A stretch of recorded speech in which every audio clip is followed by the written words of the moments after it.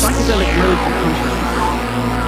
can provide states that are awe-inspiring, sublime, ethereal, and infernal. Visions of the most beautiful and intricate of objects